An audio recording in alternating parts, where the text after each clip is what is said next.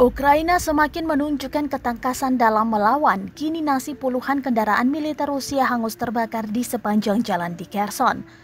Video itu diunggah channel youtube-news.com.au pada Kamis 14 Maret 2022. Dalam postingan tersebut nampak jelas kendaraan militer dengan lambang Z yakni milik Rusia terbakar. Tak hanya satu kendaraan melainkan lebih di sepanjang jalan banyak asap mengepul hingga api yang masih berkobar.